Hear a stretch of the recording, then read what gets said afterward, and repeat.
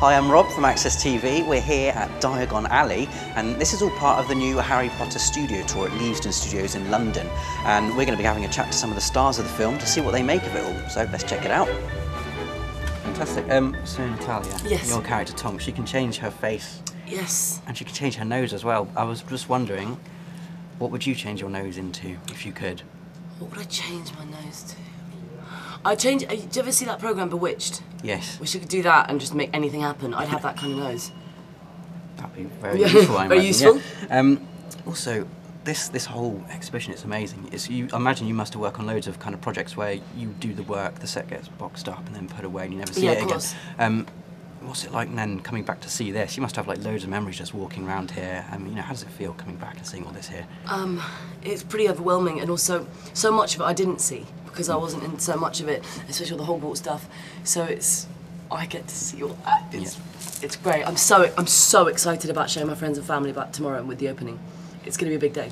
Wicked. And uh, talking of massive fantasy productions, you're also in a Game of Thrones. Mm. Yes. And I was just wondering how could those kind of two things compare?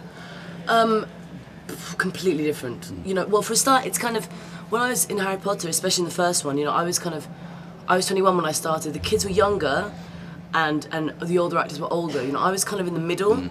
Whereas in Game of Thrones, we, there is a there's a very definite age group that we're all. So it's we all go out and party together. We work hard together. It's kind of in a way, it's kind of I, I feel closer to some of the people just because they're the same age group and we're there. Also, we're on location. We're in Belfast, so you bond more when you're away.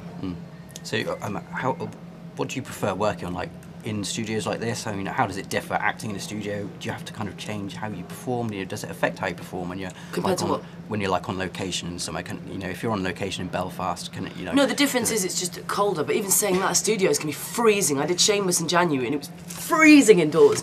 Um, so not really. I mean, as long as the props are amazing and the actors are, that you're working with give you a lot of love, it's brilliant. Okay, so you must like love working on big budget fantasy productions. What are you going to do when like Game of Thrones finishes? You have to find another massive fantasy production. Yeah, to work on. hopefully. No, no. I mean, it just happens. It's luck of the draw. Hmm. I mean, with both Harry Potter and Game of Thrones, I hadn't read or knew anything knew anything about them before I started. When I did both auditions, I was like, what? And it's only when I got into them and started working, I'd then become obsessed with them. Read all the books. Read hmm. same with Game of Thrones. Read all the books. I think it's just it's pretty lucky. I don't know how I blagged getting two fantasy jobs. Yeah, and what do you think of the Game of Thrones books? They're, I think they're they're- amazing. They. I think they're absolutely amazing. I, I read all of them on. A, I went on tour with my band. I've got a band called Molotov Jukebox, and we went to Brazil and did a tour. And we're sitting on these idyllic beaches, like, ah, and I was just there with the book.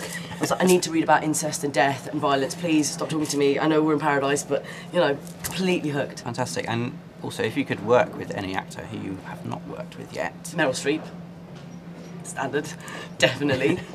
the others from the Game of Thrones, they're horrible and horrifying. Yes. Horrible. And uh, if you had to fight one of those as Tonks, which wizard or wiz or witch from Harry Potter would you like alongside you in a fight against a massive Um, army of others? Uh, right. Mad Eye just because he's mental. Like, he, I need to make it funny. He wouldn't be. "Ah," he'd just go for it, you know. Him. Fantastic stuff. Well, it's been an absolute pleasure talking to you. thank Thank you you. very much.